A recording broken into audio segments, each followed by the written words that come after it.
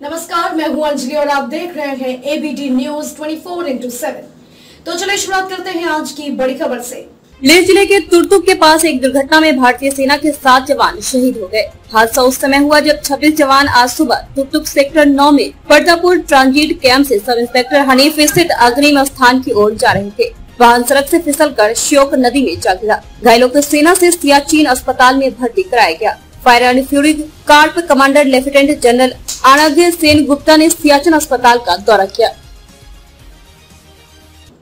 खबरों में अब तक लिए बस इतना ही। मिलते हैं फिर ऐसी ही बड़ी खबर के साथ। तब तक के लिए नमस्कार और देखते रहिए ABP news 24 four into seven